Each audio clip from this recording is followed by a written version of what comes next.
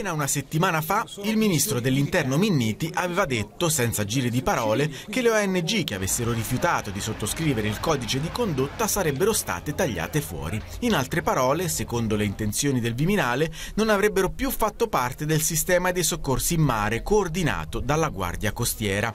Nasce proprio su questo punto la tensione tutta interna al governo. Da un lato il Viminale, responsabile del sistema d'accoglienza a terra, dall'altro il il Ministero dei Trasporti da cui dipende la Guardia Costiera. Il soccorso in mare, che dunque ricade tra le competenze del Ministero dei Trasporti e non dell'Interno, è sempre un dovere stabilito anche da trattati internazionali cui nessuno può venir meno se non si vuole andare incontro a responsabilità penali. E tra gli addetti ai lavori c'è chi sostiene che il codice di condotta voluto da Minniti e firmato finora solo da tre ONG non fa altro che ostacolare le operazioni di soccorso. A cercare un punto di mediazione tra Minniti e Del Rio il presidente Gentiloni. Tutto questo mentre proprio oggi la nave Golfo Azzurro della ONG spagnola Proactiva, dopo aver condotto alcune operazioni su coordinamento della Guardia Costiera da Roma, avrebbe ricevuto il rifiuto dalle nostre autorità ad attraccare in un porto italiano.